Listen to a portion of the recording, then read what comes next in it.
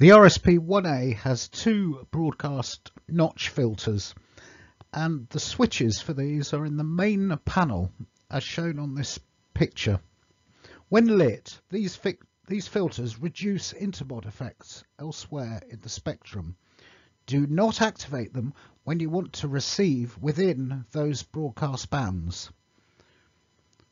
The two notch filters are a combined medium wave and FM filter, which gives 30 dBs of attenuation of the medium wave broadcast band and 50 dBs of the FM band. And then separately, there's a DAB filter between 165 and 230 megs with an attenuation of 30 dBs. And here's a short demonstration of the effect that uh, the medium wave FM notch filter has.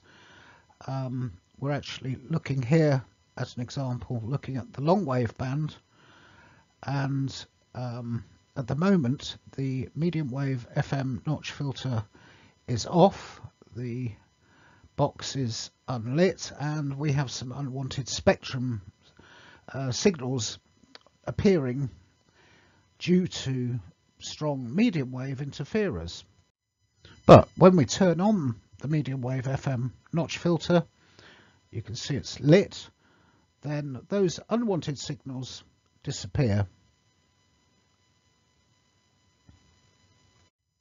For more information about SDRuno, go to www.sdrplay.com.